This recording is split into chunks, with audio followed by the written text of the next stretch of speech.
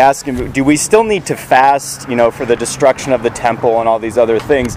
If the temple is being rebuilt, things are going well for us now. Uh, do we still need to observe these fasts? And have you ever asked, like, um, I do this probably quite a bit, you know, when I teach uh, in school. Have you ever had someone ask you, or you ask someone a question, you got a bigger answer than you wanted? Kind of, or you like, and I do that. Like a student will come up and ask me something that's kind of tangentially related to what uh, they're asking, and I, I talk about something that you know, it's a wider discussion that I want to have with them. They get a little bit more than they they asked for, uh, and that's what Zechariah did. He uh, through the word of the Lord. The, this group had come and said, Do we still need to observe these fasts that we've been doing on the fourth month, the sixth month, the seventh month, the tenth month? Is it really necessary to do that? And he gives them a, uh, a wider answer in chapter 7 and says, It's really not about the fast, it's about whether or not you're going to repent and obey the Lord. So, were you really fasting for the Lord or were you fasting for yourself? And then he reminds them of their past um, history, their past generations, and gives them a, a, warning from the past saying, Don't be like your fathers who made themselves uh, dull of hearing. They didn't want to hear the word of God. They made their hearts hard like a flint that uh, couldn't be uh, impacted by God's word and God's spirit, and they were, were hardened, and God brought consequences on them and eventually kicked them out of the land. So learn from them and don't be like those previous generations. So he takes chapter 7 and tells them, okay, from the past, this is what you need to know for the present. So you learn something from the past. Chapter 8 does the same thing but the opposite. It takes from here's what the future hope is going to be like, and here's the how you need to live in the present. So what you could do, if you're taking notes, is you could draw, uh, write negative warning from the past is chapter seven, and that has an arrow to present behavior. And then on the other side, there's an arrow pointing back at present behavior, and then says positive encouragement from the future, and that's Zechariah chapter 8.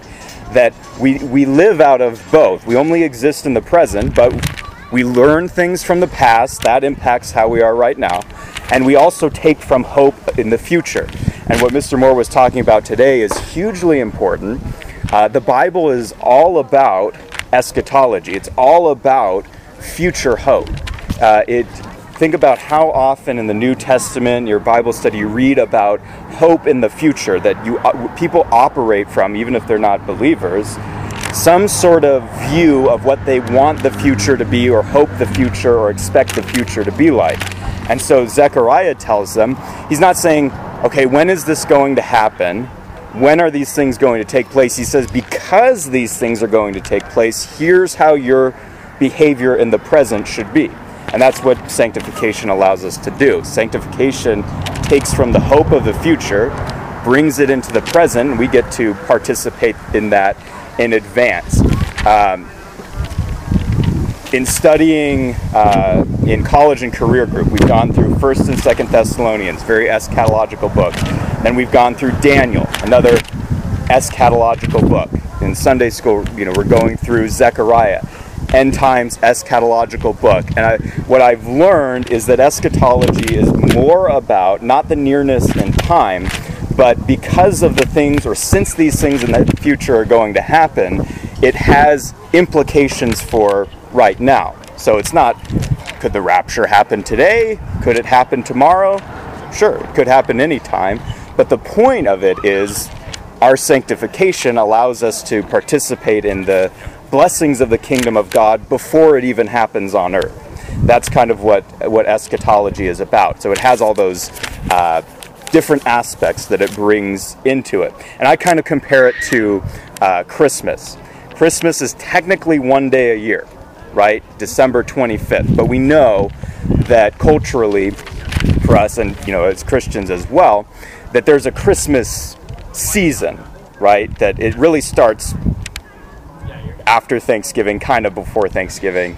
You know what I mean, right? Where you start to people start decorating, stores start changing. There's what they're doing is they're taking from the future, they're knowing that Christmas is going to happen, and that's starting to come into the present. That's how eschatology is. Because the Lord's going to return, and these things that I'm going to read you about in Zechariah chapter 8 are going to happen, that's going to cause us as believers to start to conform our behavior and our attitude and our hope to those things. So anyway, so that's something to think about that what you look forward to determines present action, and then present action indicates, you know, what you anticipate. So I mean the very fact that we gather together and we think that's important, that's saying something to the rest of the world about what we do, even if they don't believe it. It means we're the eschatological people of God, and we're hoping in uh, in the Lord. So it's something to think about. You know, what does the future look like? Why does it matter? Which we're going to read about. And then what did Zechariah's audience need to look forward to in order to anticipate uh, the kingdom of God? What, what kind of hope did they need to take from the future? So first, I don't really have, uh, I have more points of an outline. They're not really, they're just as we walk through the chapter. But let's look at verses 1 through 3 and look at the, the return and the dwelling of the Lord. That's going to be the main thing that they're hoping in, and then that's going to have other consequences. Read along with me in Zechariah 8 uh, 1 through 3. It says, Then the word of the Lord of hosts came, saying, Notice, by the way, real quick, the word of the Lord is saying. This is a presence, not just a, a, writing or a book. So when John talks about the word became flesh and dwelt among us, uh, he's referring to the word of the Lord who speaks and acts as God in Zechariah. It's a presence in the Old Testament uh, who shares nature with God. Anyway, the word of the Lord of hosts came, saying, Thus says the Lord of hosts, I am exceedingly jealous for Zion Yes, with great wrath I am jealous for her. Thus says the Lord, I will return to Zion and I will dwell in the midst of Jerusalem. Then Jerusalem will be called the city of truth, and the ho- and the mountain of the Lord will be called the holy mountain. Okay, so there we have the promise of the return of the Lord his actual presence and the dwelling of the Lord. He doesn't just come back once and you know and leave again. It's the return of the Lord and his continual eternal dwelling presence uh, with his people. And notice how many times throughout Zechariah 8, you can just think about this as we go through it, that how many times it talks about the word of the Lord, or this is the word of the Lord of hosts, the Lord of army. It talks, it reminds over and over and over again, this is God's word, tying that authority to it. So he keeps reminding them this is not Zechariah's own thoughts, or he's not, you know, sharing some feelings, you know, sitting backwards on like a chair and like, you know, having a rap session or whatever. You know, he's saying this is God's word about what's going to happen. God is really the primary speaker, Zechariah is secondary. And uh, so he promises this return back to the land. He uses two names, and this is a this is a literal thing. This has not happened yet. There are some uh, Christian brothers and sisters of other traditions who love the Lord, love God's word, have a different perspective on these things, who would say, in a sense, this has been spiritually fulfilled. That Christ is reigning now, and that this is being unfolded on the earth through the church. Okay? We can see kind of where they're uh, they have reasons for why they think what they think. I'll say that. However, you look at a text like Zechariah, and it's talking about this is really going to happen in a geographical time and place in real history, uh, not just in a spiritual way. But anyway, the Lord returns, and he talks about, he repeats things. It says, I'm exceedingly jealous for Zion, yes, with great wrath I am jealous for. This God's jealousy, his zeal for his people that belong to him. This repeats Zechariah 1:14, so he's referring to things from previous visions in the book. And then he talks about, I will return to Zion, which is the, the mountain in Jerusalem. Zion has to do more with the, the theological name, more of the uh, messianic theology, the, what God's going to accomplish through Messiah and the blessings that he's going to bring. But he also refers to it as Jerusalem. That's the actual city, you know, it exists today, that, uh, that's the capital that's going to be the spiritual and political capital of the millennial earth in the kingdom of, of God. Uh, that it's going to have this focal point. Not everybody, not every human, not every Jew is going to live there, but it's going to be the main area where God's presence is, uh, in a way, visible and uh, there in a unique way with his people uh, through the Messiah. This is going to be the return of the Lord in the Messiah. And so he talks about he's not only going to return, he's going to, again, like in the tabernacle, like in the temple, he's going to dwell with his people, right? So uh, think about John 1.14 where it talks about, John's talking about Jesus, the Word became flesh and dwelt. That word dwelling is very important because it talks about God dwelling in the tabernacle, God's presence with his people, and then God dwelling in the temple, dwelt among us, and we beheld his glory, glory as of the only begotten of the Father, full of grace and truth or the Old Testament would say, full of loving kindness and truth. That's a uh, reference that always refers to uh, God, but this is God in the person of Christ. Uh, even John 1.14 talks about when it says the Word became flesh. Another way to read that is that the Word tabernacled among us, that God was dwelling uh, on earth through Christ. And so, and then the next chapter, right? Jesus goes into the temple. See, that's a big important event. Is the presence of God enters the temple and they don't even they don't even know it right? And jesus refers to his own body as the temple tear down this temple and in three days i'll rebuild it right? So there's a lot going on that uh, it helps to know zechariah when jesus is in the temple because he's usually picking up on something from there.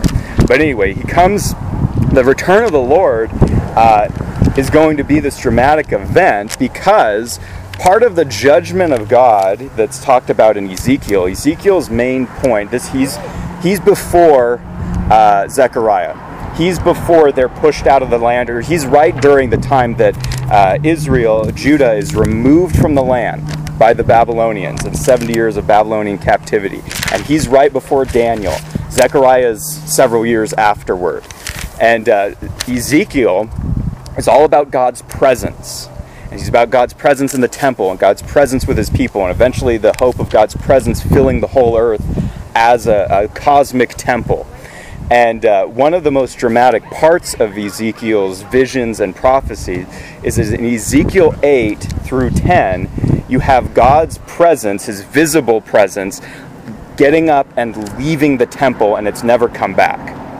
So it's, his presence has never visibly manifested itself in the temple again. And it leaves, and Ezekiel, let me read, and you can turn with me if you want, Ezekiel 43 1 through 5, he talks about the hope that uh, of God's return to the temple.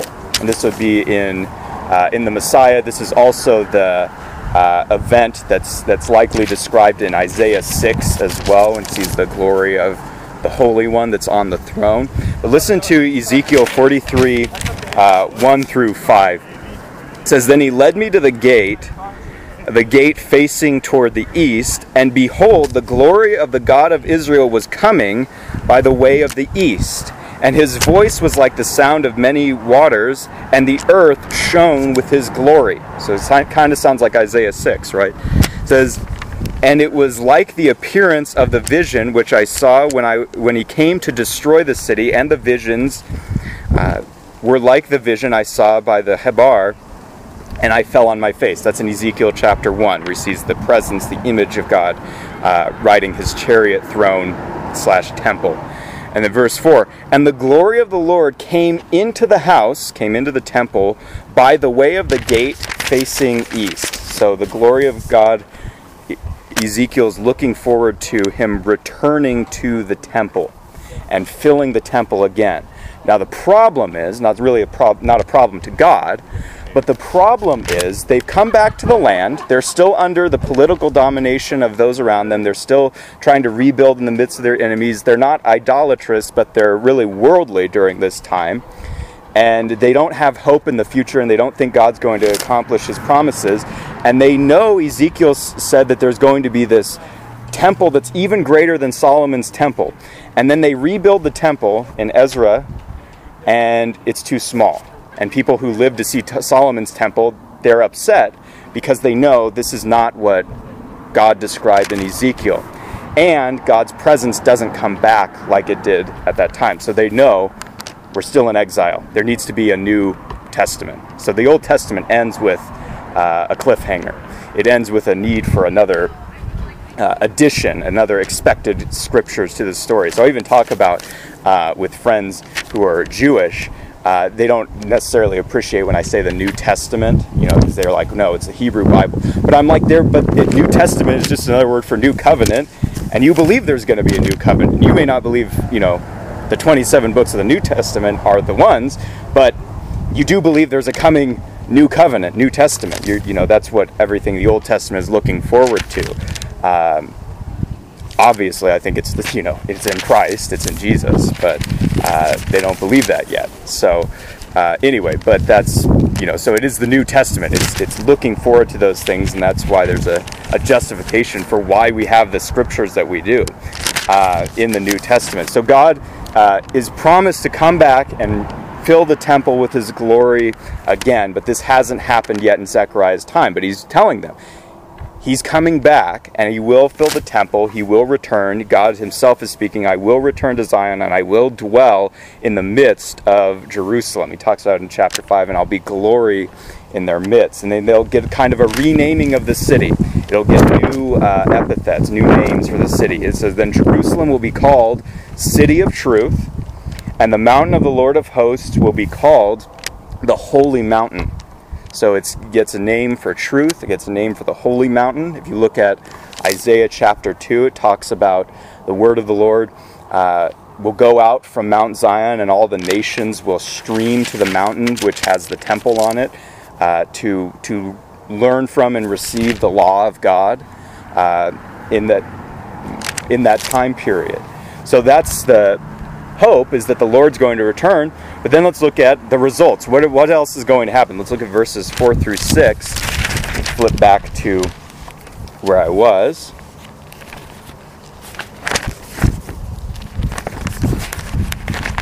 And what it describes uh, may not be that amazing to us. It's, it's pretty ordinary.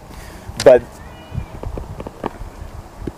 think of after like a disaster you think of even like right now, it's not a disaster in a sense, but like a hurricane or something, when you can imagine going back to life like it was normal, you know what I'm saying? Like after the coronavirus stuff or whatever, you know, they say now, well, it's never going to be normal again, but you know, who knows? Uh, but you could think of after like a hurricane or an earthquake or something like the idea of going back to when things were safe and normal and stable, what that would have been like. Uh, during this time, it was very unsafe.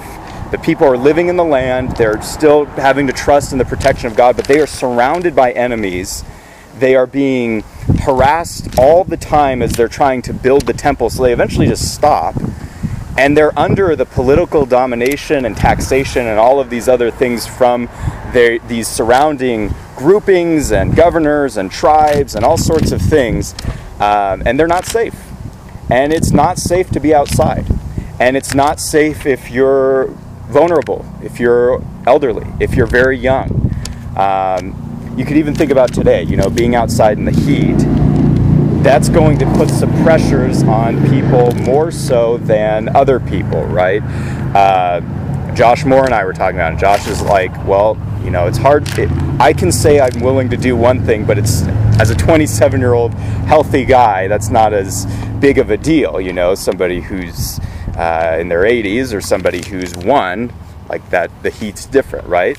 Uh, and you could think, imagine if we were out here trying to worship the Lord, we didn't have a building, and we're trying to build a building while people were threatening to attack us, rape us, kill us, steal from us. They may not even have to actually do anything just the idea that they might would, you know, be enough to uh, scare us, right? Well, listen to verses 4 through 6. The return of the Lord, what's that going to cause? Listen to verses 4 through 6, chapter 8. Thus says the Lord of hosts, old men and old women will again sit in the streets of Jerusalem, each man with his staff in his hand because of age. And the streets of the city will be filled with boys and girls playing in the street. Thus says the Lord of hosts, if it is too difficult in the sight of the remnant of this people in those days, will it also be too difficult in my sight, declares the Lord of hosts. Meaning, people are going, to, Jerusalem is going to be in such peace and safety under the protection of God uh, that there's going to be such a, a power there that protects people to the point where they feel safe with their most vulnerable populations playing outside. And uh, the curse will be reversed enough that uh, old people will be so old that they're still going outside, hanging out, and they're just hanging out there. They'll have their staff in their hand and just playing, you know, just enjoying being outside, you know. So you know, I don't particularly identify with that, but you know, some people like outside. No, I'm just kidding. But uh, but if that's your thing, that's okay. Uh, and then little kids, like we had today, you know, people out, you know, kids out playing, kids play and they do stuff, and uh, but you could imagine like like August and Ezra out there playing, and we all kind of keep our eye on them, make sure they don't go too far. But imagine just being like, all right, August, Ezra, they're like two, go play outside. We'll see you in an hour after we leave church, you know, type of thing. That's the type of safety that's going to be uh, representative of what's going on in the kingdom of God. So it sounds kind of mundane, it sounds kind of ordinary. Uh, what, what I kind of thought about was the difference uh, between that there was a change that took place after the Reformation, even in art.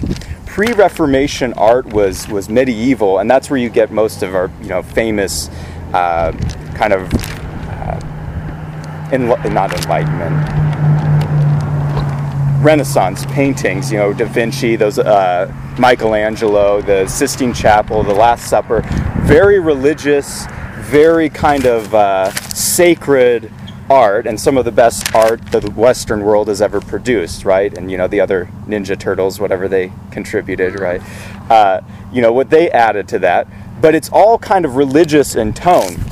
After the Reformation, one of the big things of the Reformation was that there's not this sharp, as sharp a divide uh, between the sacred and the secular. Meaning, you can honor God as a man sweeping the street, or as a mother, or, you know, as a pastor, uh, or a missionary, that it's not, that all of those things can be honoring and glorifying to God. So that even started to bleed into the art and so in Dutch areas, in, in Holland and other areas like that that were very affected by the Re Reformation and Calvinism, you started to get this change of art that was very simple. You'd have like milkmaids just doing their normal thing and you had kind of mundane art and that was it was beautiful but it was very kind of simple and that's kind of the picture uh, here it's just kids playing outside old people playing outside and that kind of was supposed to give people hope that this is what the kingdom of God's going to look like.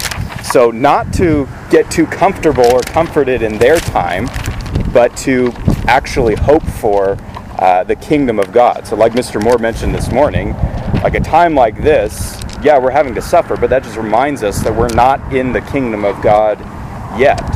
Uh, but there, it's coming, and we're going to participate uh, in this. We're going to see these things and uh, enjoy them. And we get to enjoy them in advance now as believers. Um, other people don't have that opportunity. And God even has to remind them. Look at verse 6. Thus says the Lord of hosts, if it is too difficult in the sight of the remnant of, uh, of this people in those days, will it be too difficult in my sight, declares the Lord? Meaning, this would have been something that seemed improbable, even impossible to the people of that time. Like, we're never going to have like that type of security and safety where the most vulnerable people can just be outside without worrying and without supervision. Uh, and so, but God is reminding them it's not too difficult for me. So He's going to do something that was impossible. And in this time, how He demonstrated that was He was going to have them rebuild the temple. And so He said, Look, I'll give you something in the near future to show you that the far future is actually going to take place. Um, let's look at verses 7 and 8, the return to Israel, the return of Israel uh, people to the land, the Jews to the land. Uh, Zechariah 8, 7, and 8 says, Thus says the Lord of hosts, Behold, I am going to save my people from the land of the east and from the land of the west. Literally, from the land of the rising, where the sun comes up, to the land of the setting sun. And I will bring them back, and they will live in the midst of Jerusalem. And they shall be my people, and I will be their God in truth and righteousness. And so that east and west is basically God's going to get regather his people from wherever, not just from Egypt not just from Babylon, like last time, but from wherever they are on the face of the earth to come back and dwell in that land with him. He says, I'm going to save my people, I'm going to bring them back, and they are going to be my people, and I will be their God in truth and righteousness. So, this, if you ask uh, Orthodox Jews today, you have to talk to Jews that actually believe the Bible, because a lot of Jews are, are, reformed and they're, you know, uh, pretty secular.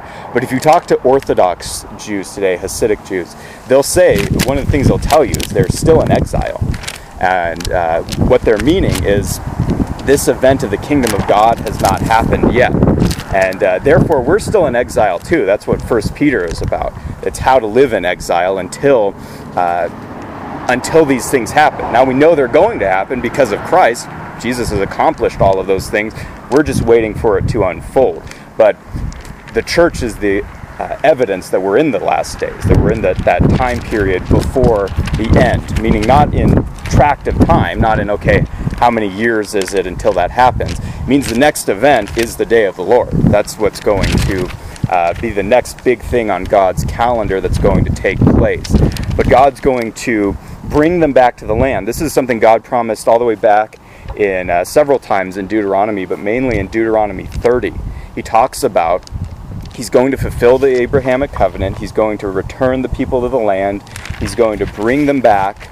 Uh, and all those blessings are going to happen. They're going to be a blessing to the nations as well. And how is he going to do this? Deuteronomy 36 I will circumcise their heart. He'll, he says he's going to give them a new heart that's going to drive the return back to the land. So there's a lot of uh,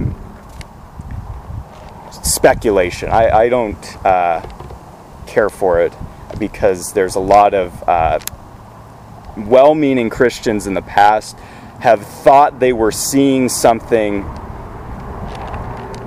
eschatologically that, that they were incorrect about. Let's just say that. Okay, so I don't like to uh, to guess about those things.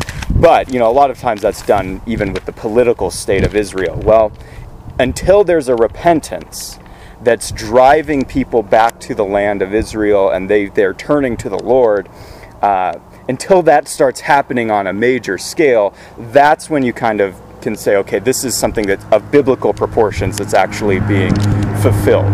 Um, so, the political state of Israel as it stands today, maybe who knows? That's that's all I'll say on that but it's uh, some people try to draw too hard a conclusion for that and I think historically if you do that you step off of clearly what the Bible says and, and being conservative about that uh, you usually end up disappointed or embarrassed in, in making those claims but but anyway sometimes people you know want to draw a chart. Uh, Kenton brought me this thing once. It was a chart that uh, his mom had from years back in the 70s about how uh, the Soviet Union was going to be worked into the Antichrist plan, you know, and then 1990 the Soviet Union's done, right? So it's well-meaning Christians trying to apply eschatology, but but eschatology works this way from the future. It doesn't mean we say, okay, what's our chart going to be? It's okay. Well, how do we live in this time?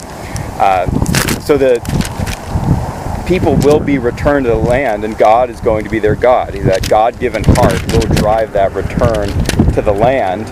Um, and that's going to lead to Gentile salvation as well, more Gentile salvation. Um, Kenton was like, we're going to have to listen to a lot of motorcycles going by today, but we haven't had to hear too many of them. Uh, there was this statement back when Britain was the, the main world empire, world power with all its colonies and all this stuff. That the sun never set on the British Empire, meaning wherever the sun went around the earth, that it was always on uh, somewhere that was uh, occupied by the British. Um, but biblically, when God does this, his kingdom and Jesus' empire, the sun from east to west, literally from the rising to the setting sun, is all going to be under the dominion of Christ. Now, it is officially now, but in actuality, we don't see it happening yet. And uh, we're part of that equation as the church, but it hasn't, uh, hasn't unfolded, but it will. Um, there's plenty of evidence to show that scripturally as well. Let's look at the, the application. Okay, well, what, what do we do now knowing this truth? What did the people in their time uh, need to know so that they could uh, live during that time? Uh, let me read Zechariah 8, 9 through 13. It repeats this phrase, same phrase twice. It says, Thus says the Lord of hosts, let your hands be strong you who are listening in these days to these words from the mouth of the prophets who spoke in the day that the foundation of the house of the Lord of hosts was laid, to the end uh, that the temple might be built. For before those days was no wage for man or any wage for animal. And for him who went out or came in, there was no peace because of his enemies. And I set all men uh, one against another. But now I will not treat the remnant of this people as in the former days, declares the Lord. For there will be peace for the seed, the vine will yield its fruit, the land will yield its produce, and the heavens will give their due. And I will cause the remnant of this people to inherit these things. Verse 13. And it will come about that just as you were a curse among the nations, O house of Judah and house of Israel. So I will save you, so that you may become a blessing. Do not fear, let your hand be strong. So the kind of phrase that ties it all together, let your hand be strong. Hebrews 12 talks about this too. It talks about you do have weak hands and drooping knees. It's it's to take strength from this knowledge, to know that this is going to happen, and let your hand be strong. Be encouraged, be strengthened, knowing that this future is guaranteed to take place. So it's not, well, because God is sovereign over the future, uh, I don't care and my actions don't matter. It's, it's no, because God is sovereign over the future, our actions actually can and do matter. If you have a world of uh, chance, your actions don't matter. One action will produce one thing one time and not a second time. It, it really wouldn't matter. Um, if you live in a world of, of hard uh, determinism, where we're just the facts of the universe, we, you know, there's no reason or rhyme to anything that we're doing, then the stuff just happens because it happens, not because there's some sort of predetermined end and a sovereign God who's bringing it about. But when you have that, when you have that, the biblical worldview, the knowledge of that, that encourages us for how to live in the present. Hebrews 12 12. This is the verse I was referring to. Therefore, strengthen the hands that are weak and the knees that are feeble. So it talks about this reversal of even the curse that's going to take place. There will be peace for the seed and the land, the vine will yield its fruit, the land will yield its produce, heaven will give its due, and uh, the remnant is going to inherit all these things. And then the big thing, verse 13 and it will come about that just as you are a curse among the nations, O house of Judah and house of Israel, so I will save you, that you will become a blessing. So God had cursed them. A curse is God's focus for judgment. God's focus on something for judgment, consequences, punishment. God's blessing is God's focus on someone or something for grace. So God says, the original mandate or destiny of Israel was to be a blessing, right? The Abrahamic covenant was that God was going to bless Abraham, and in his seed, all the families of the earth were going to be blessed. How that was going to be worked out is they were supposed to be a kingdom of priests. They were supposed to uh, show God's wisdom in the law, their obedience to God, and they would receive blessing. And the nations were to look to them, and then the, they were supposed to redirect the nations to God to bring the nations into obedience to God. And that would have started to reverse the curse. Uh, that couldn't be done because sinners don't obey the law of God. So Israel was put in that position purposely by God to demonstrate that uh, if sinners keeping the law of God is the thing that will produce blessing, uh, that's never going to happen. But it's one of those puzzles because you have this promise to Abraham that's totally based on faith, and then you have the uh, what Moses is saying in his law as well is you're never going to be able to do it. uh, Deuteronomy 29. You know, it ends with this verse that people use as like a comforting mechanism. If you if you knew it in context, it's a little bit different. You know that the secret things belong to the Lord our God. Deuteronomy 29 is when Moses, in his preaching, puts together all the tensions and all the, the problems that people are going to wonder. Well, how can these things all come together? What God has promised and the reality of our situation. What's what's the link that puts them all together? And he says, secret things belong to the Lord. But then he answers it in the next chapter in Deuteronomy 30. But he told them one of the puzzles that they have to that Moses wants them to think about is you're supposed to have a blessing that's been promised to you through the being the people of Abraham. But to do that and to fulfill that and to be a blessing to the nations, you have to obey the law of God. But you don't do that. So instead of being a blessing, you're actually going to be a curse. And if you're a curse, that means the world is stuck in a curse too. So we're stuck in this situation where there's supposed to be a blessing. Listen to Deuteronomy 29, uh, how God would even use that uh, curse of his people to uh, still speak truth about himself. Listen to Deuteronomy 29 22.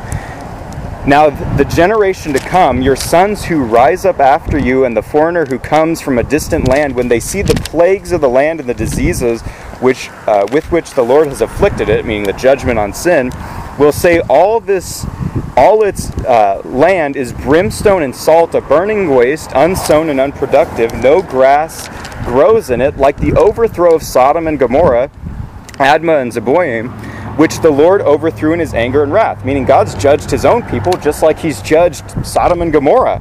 How can that be? And it says, All the nations will say, Why has the Lord done thus to this land? Why this great outburst of anger? Then men will say, Because they forsook the covenant of the Lord their God, the God of their fathers, which he made with them, and uh, he brought them out of the land of Egypt. Then they went and served other gods and worshipped them, gods which they had not known and had not allotted to them. Therefore, the anger of the Lord burned against them to bring every curse upon it which is written in this book. And the Lord uprooted them from their land in anger and fury and in great wrath, and cast them into another land as it is to this day. So they've come back to the land. So, how can they be a blessing if they're cursed? Well, God has to give them a new heart, and He has to deal with their, uh, their curse under the law, which is what Christ did, that he redeemed us from the curse of the law, becoming a curse for us by hanging on a tree. So he took on that God cursed death for his people, which leadership uh, could do if they were if they were perfect. Uh, so, but that's one of those things that Moses ends the sermon. The secret things belong to the Lord our God. he's like, okay, see you next, you know, Sunday or whatever. And uh, he does answer in Deuteronomy 30, you know, verse 6. God has to give you a new heart in order to do that. Um, but God promises them here, verse 16, that just as you were a curse, God is going to make you a blessing. So the nations are going to partake in that as well. Let's come to verses, uh, another application is not to fear, verses 14 through 17, as we finish up here says, For thus says uh, the Lord God of hosts, so notice how many times he repeats that, just as I purpose to do you harm, when your fathers provoked me to wrath, says the Lord of hosts, and I have not relented, so I uh, have again purposed in these days to do good to Jerusalem and to the house of Judah. Do not fear. These thing, uh, these are the things which you should do. See, here's some built-in application. Okay, here's how you should apply this. Speak the truth to one another. Judge with truth, meaning judge with impartiality according to God's character. And judgment for peace in your gate. Also, let none of you devise evil in your heart against another. And do not love perjury. For all these things are what I hate, declares the Lord. Then, I will stop there. So there's the application. Do, you know, speak truth to one another. That should sound familiar. Do justice, uh, love peace, do, do, render just judgment, uh, meaning impartial biblical judgment. Uh, do judgment for peace, meaning that settles the controversy. So these are things that by our behavior. So our behavior is more than just obeying God. It's, it demonstrates something about our hope in the future. So when we speak truth to one another, that demonstrates uh, our hope, our knowledge of who we are as God's people, and our hope in the future. That should sound familiar because that's the logic of Paul. Remember Ephesians 4, Ephesians 4:25. Therefore, laying aside falsehood, speak truth each one of you with his neighbor. Paul quotes Zechariah 8:16. For we are members of one another. Ephesians is about uh, the church of the Christ. It's the focus on the church of the Christ because of who Christ is, because of what Christ has accomplished, and because the church is in Christ and seated with Him in heavenly places, that has major consequences for who we are. That the church is a new man in Christ. That the church uh, undoes distinctions between Jew and Gentile and all other sort of things that would divide people. And then Ephesians is about how to live a heavenly life because of that position in a hell like world. And so as the eschatological people of God who exists now, and as the new humanity of, in Christ, Paul is saying, okay, because of all that, you need to demonstrate that by speak truth to one another, each one of you with his neighbor. So lay aside the old man, the old Adam, falsehood, and instead be renewed in the spirit of your mind, that renewal that God does in the heart, and then speak truth, not just quit lying but the Christian should be a truth teller, that we speak truth like we, uh, not just Mr. Moore when he preaches, he, of course, you know, is kind of the leader in that uh, as the preacher, but the Christian needs to be a truth speaker to one another, that we need to be communicating uh, biblical truth to one another. And Christian truth telling then takes on, you know, a larger significance. It's not just we don't want to lie because that's bad, or not just, you know, and that's good. Uh, we don't want to lie because it's against the character of God. That's good too. But it's also an eschatological act. We're showing that we're moving toward this event where God's coming. He's going to reign in truth and righteousness. He's going to make his city the city of truth. We should be a people of truth, and we demonstrate that by telling each other biblical truth, the truth about the gospel, repeating those things. So, not just don't lie to each other, don't do that either, but uh, but actually speaking truth to one another. So that's what Paul is picking up on. So he, you know, believes Zechariah was a uh, a relevant book. He's saying, look, because these things are going to happen eschatologically, and because this is who you are, this is what you need to do: speak truth to one another. And he talks about even in uh, Zechariah, uh, not Zechariah, Ephesians 4:21, that that's because the truth is in Jesus. It's the definition of truth. As we finish up here, just finish by reading uh, what we have left. Verse 18 says, Then the word of the Lord of hosts came to me and says, Thus says the Lord. He, now he finally answers, after two chapters, the question they had about fasting. So, two chapters after the Lord's uh, given them a bigger answer than they asked for, um, came to me saying, The fast of the fourth, and the fifth, and the seventh, and the fast of the tenth month will become joy and gladness, cheerful feasts for the house of Judah. So, love truth and peace. So he's saying, look, eventually these fasts, when the kingdom of God comes, you won't need to fast anymore because they're going to become joyful feasts that's going to be the, the situation. So look forward to that. Yeah, you can mourn over things and fast and fast because of repentance, and all that's fine, and lament over the sinful condition of the world if that makes you long for the kingdom of God, but also look forward to the joy and the hope of the future when you get real comfort, not the comfort offered by uh, the world. And so he, he finally answers look, all these fasts eventually are going to become feasts. Remember what Jesus talks about, places like Matthew 9 you know, when they asked, uh, John's disciples asked, well, how come your disciples don't feast? He said, well, the, I'm the bridegroom. The bridegroom's with them. They don't need to. They don't need to fast. But when the bridegroom's taken away, then his disciples will fast. So that I think demonstrates again we're we're not in that kingdom of God yet. When Jesus was here, there was no need for his disciples to fast. They had joy because Jesus was with them. When Jesus left, uh, you know that temporary exit until he comes back we're still in that time period of exile. Where st- Jesus said they're going to fast after I leave, and fasting is one of those uh, key terms that you associate with being in exile. And so he answers that question uh, and tells them, okay, so what do you do? Love truth and love peace. Um, when we went through Thessalonians, uh, both books talked about you know peace and different things, conflict with one another. But one of the things there that it emphasizes is one of the reasons to have peace with one another is we're demonstrating the peace that God's going to bring on the earth in the future. So it's important not just that we get along, but that we pursue peace with each other because that demonstrates what God is going to make a reality on earth in his kingdom.